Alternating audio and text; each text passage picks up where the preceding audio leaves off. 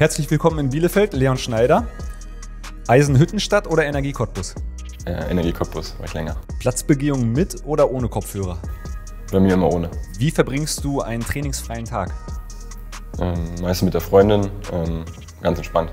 Abendessen oder Frühstück? Eher Abendessen. Du hast in der dritten Liga bereits 64 Spiele für Cottbus, Uerdingen und Würzburg gemacht. Worauf kommt es an in Liga 3? Ähm, ich denke, sehr körperbetonte Liga, ähm, wo es meist um Nuancen geht. Ähm, und ja, freue mich jetzt hier erneut in der dritten Liga spielen zu dürfen. Vielen Dank. Sehr gerne.